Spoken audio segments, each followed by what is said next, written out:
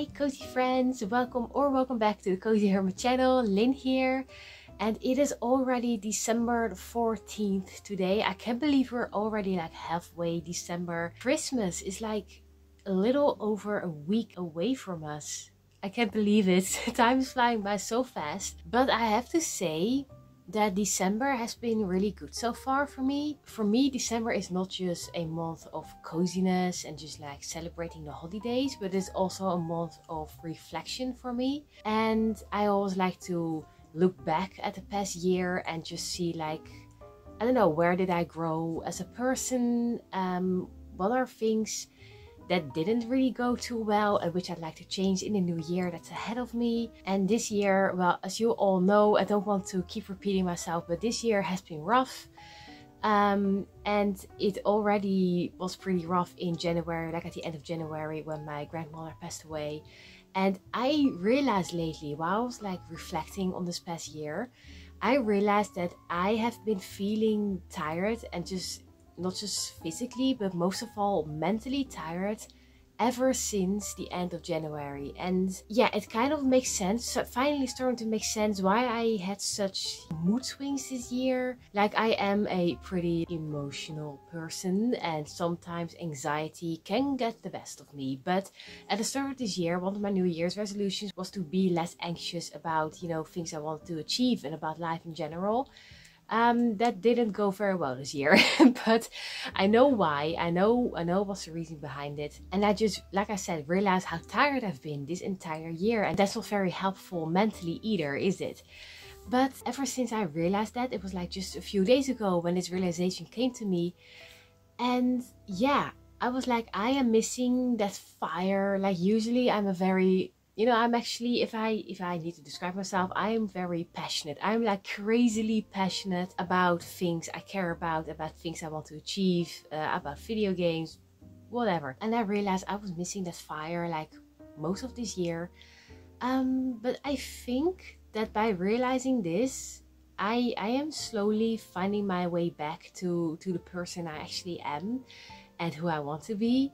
And i'm already feeling so much better like yesterday, I, I worked all day on finishing last week's vlog about Natsuki, which you've probably already seen. And if not, be sure to check it out because it's really cute. But anyway, um, I worked all day on that vlog and I was pretty tired by the time it was dinner time, but I still had a little bit of time left. And um, usually, like last year, I would be like so exhausted. I didn't want to do anything else. Like even if I would have 30 minutes to spare, I I just couldn't get myself to do something extra and if I did I would end up with with a headache and I would feel pretty awful for the rest of the night. Yesterday I was like you know I am pretty tired but let's let's make something else too. Let's make a short.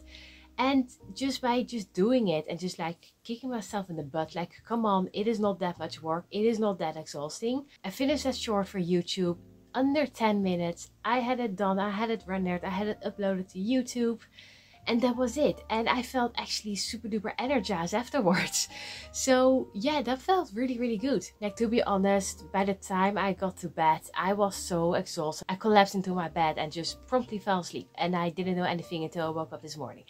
But i'm still feeling really good about it. And it just kind of realized that fire that i'm like yeah i, I still got way more energy inside of me and I think it's coming back. I think it's coming back. And I'm excited to make 2024 a, a year that is full of energy and just, you know, wanting to achieve things and just having fun along the way.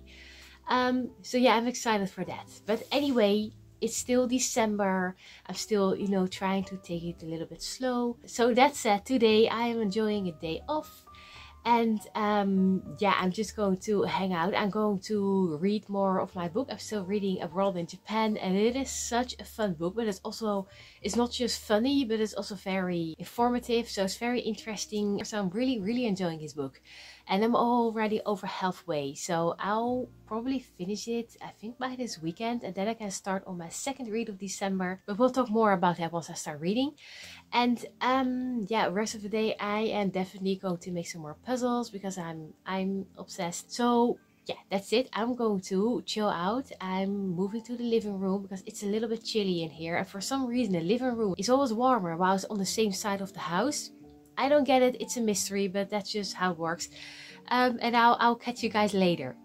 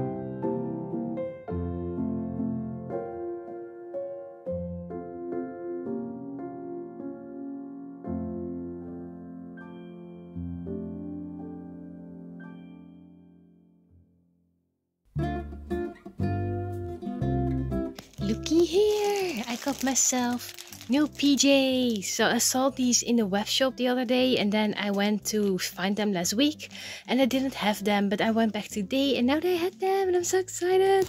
So yeah I'll be sure to wear these tonight. New cozy PJs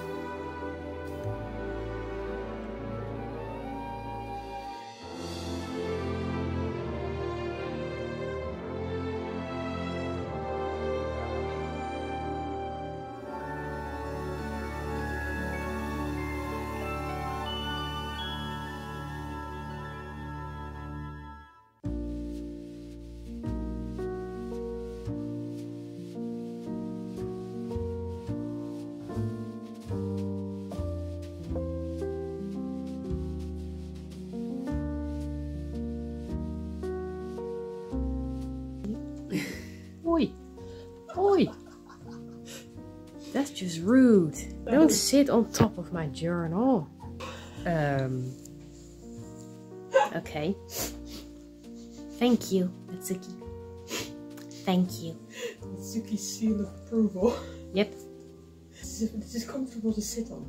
I like it.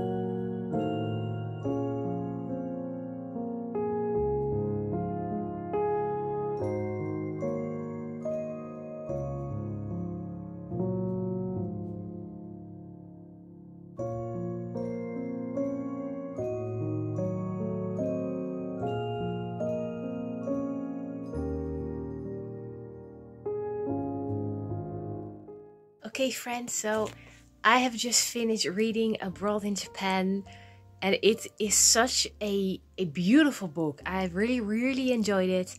Um, to be honest, the ending actually kind of made me feel emotional. Reading everything he went through, like all of his insecurities, his anxieties, and all of that which he overcame throughout the years. It is so, so inspiring. Yeah, I really, really enjoyed it. So, this would actually have made a perfect book to start off your new year to get like these extra positive vibes but it's also pretty great to end my year with so Abroad in japan definitely a, a great read for December this year. Um, I really, really enjoyed it. And if you like his channel, I can only recommend it. And even if you don't know his channel, but you're interested in Japan and would like to read something that is like very motivational, uh, I would still recommend it. So, great book. Honestly, really enjoyed it. Anyway, it is now time for my second read. I'm going to get it. Let's go. Got my reads here on my desk, and this is the next one before the coffee gets cold. I'm really excited for this one. So, um, yeah, I'll start reading it and we'll talk about it a little bit later.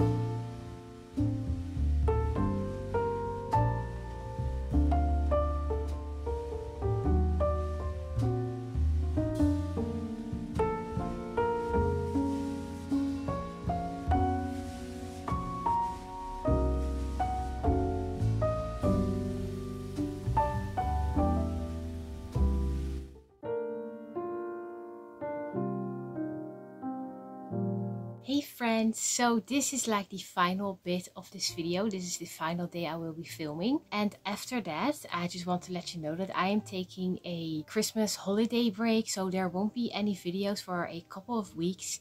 Uh, but I'll be back in January. But before I'm like really going to say goodbye and wish you happy holidays, I just wanted to talk a little bit more about um, how I was like reflecting on the past year this month. I was talking about like finding that fire again. I think it is back. It is definitely back. To be honest, I am really, really excited for 2024.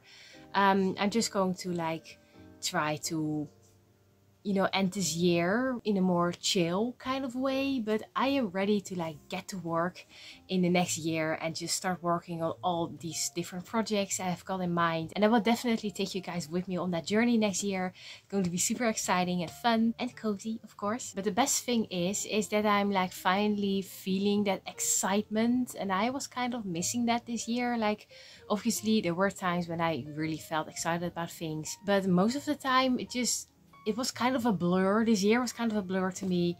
And um, but when I think of 2024 now, I just I just can't wait for the new year to start. Um, usually I'm actually one of those people who always says like you don't need a new year in order to make a fresh start in your life. It doesn't matter what day you decide to to start a new chapter in your life. But I have to say that after this year, it feels kind of nice to like really say goodbye to 2023 and say hello to 2024, which is it, it feels as a new, brand new start, a fresh start for, for better times that are ahead. Um, so yeah, let's just talk about some of the things I'm excited for in 2024. They're, they're very modest things, but one of the things I am super excited for is the release of Final Fantasy VII Rebirth. I know it's not a cozy game, but um, I love Final Fantasy and especially Final Fantasy VII. And Remake is a game I've poured over 400 hours of my life in. That's how obsessed I am. And the sequel is finally coming out. And they uh, they started a countdown on their Instagram. And uh, it was last Thursday when they said that it will only take 77 days for the game to release. It just kind of made this click in my head that I finally realized that the game is really coming out. It will be out on February 29th. So that's going to be such a cool start of 2024. Another thing I'm really excited for, which has been announced recently, is that the second season of Arcane League of Legends will come out at the end of 2024. I think it's going to be November. I'm really excited about that too. Again, not a cozy series, but I love it. And I cannot wait to see the next season. So, you know, it is small things like that that just make me think that 2024 can't possibly go wrong because there are so many cool things coming. And I think like those small things are the important things to keep in mind when you start a new year, when you make a new start in life. Just appreciate the little things, really. So maybe if you're not like in a very good headspace at the moment and you're like, oh girl, 2024, I'm sorry, it's suddenly becoming very sunny. I'm like not feeling it. I'm not feeling 2024. I'm not feeling a brand new start. Um, just try to think of small little things that can make you feel like like you're starting something new. Just like maybe decide to go for walks a little bit more often decide to do yoga decide to take up a fun hobby or something. It can make all the difference. I think i already talked about this in one of my previous videos but it really it really changes everything and it will make your outlook on life just a whole lot more positive um, also, one thing I'm excited for in 2024, I have officially signed up for the 2024 edition of 30 Days of Yoga from Yoga with Adriene. I did it last year too, and it was such a wonderful start of my year. And I'm excited to do it again. And it just, I think it's especially very good way to start your year because you're kind of forced to be disciplined right from the very start. And it's kind of nice it's kind of nice. And i think it's just it's, it's a healthy way to begin a new year in a very positive and healthy I already said healthy way but anyway so that's another small thing i'm excited for 2024 um, like i said i've got some really cool projects in mind but i'll talk about that way more in the new year so um, that is it um, i wish i could have read a little bit more already for this vlog to tell you more about about my December reads. But I've uh, started reading before the coffee gets cold this morning, but I'm only like 10 pages in. But I'm already enjoying it. I'm very very intrigued. In the first video after this one in January, I'll definitely talk to you guys more about my December reads and my thoughts on them. Um, it could be that I might actually continue filming throughout the next few weeks and maybe just use them to like summarize my last few weeks in December and the first days of January. I don't know, we'll see. I'm not sure yet. I'm I'm trying not to make too many plans for the rest of this year because I think it's important to just settle down a bit and really soak up the magic of the holidays. So that said, um, I'm going to, uh, after this, I'm going to read a little bit more and then I'm going to wait until it gets a little bit darker. Um, because once the sun sets, my sister and I are going to go for a walk and we are going to walk around the neighborhood to check out the Christmas decorations from our fellow neighbors. I hope they've done their best this year, but we'll see. And I'll take you guys with me, of course. Um, but yeah, in case I, I won't talk to you guys again anymore in this video, I just want to wish you a Merry Christmas and a happy, healthy, and most of all, cozy New Year. I hope you have some amazing days, uh, whether it's with friends or on your own. Just, just make sure to stay cozy no matter what. And uh, I hope that you enjoyed this video. If you did, please consider hitting that like button and subscribe to the channel. And I just want to say thank you to every single one of you who have already subscribed to the channel. Initially, at the start of this year, it was my goal to have a thousand subscribers at the end of this year. But this year was weird. Um, and it didn't turn out that way. But we did manage to gather over 400 cozy friends before the end of this year and my new goal was 400 subscribers. We are past that already so I want to say thank you so much for joining the cozy club. I really hope that you will enjoy your stay here and every single one of you who already subscribed who has been with me for, for a year or longer. Thank you so much for your ongoing support. It really, really means the world to me. And um, I hope to see you guys again next year as well. So until we meet each other again, as always, stay cozy. Oh, oh, oh, I almost forgot. So I needed to end this officially. Once more, happy holidays, cozy holidays, and stay cozy. And um, I'll see you guys in the new year.